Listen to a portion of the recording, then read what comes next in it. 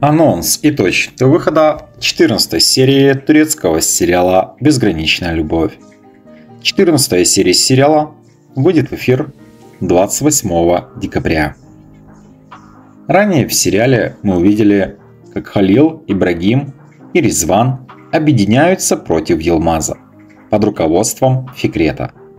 Асие, которая не может смириться с тем, что Зайнеп и Недима победили – не принимает этот мир и заключает сделку с Илмазом. Дуэт Асие Илмаза не будет смотреть в глаза никому, особенно Халилю Ибрагиму и Зайнеп. 14 серия сериала выйдет в эфир 28 декабря.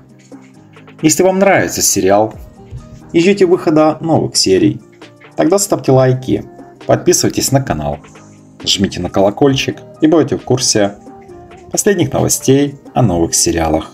Спасибо за подписку и лайки.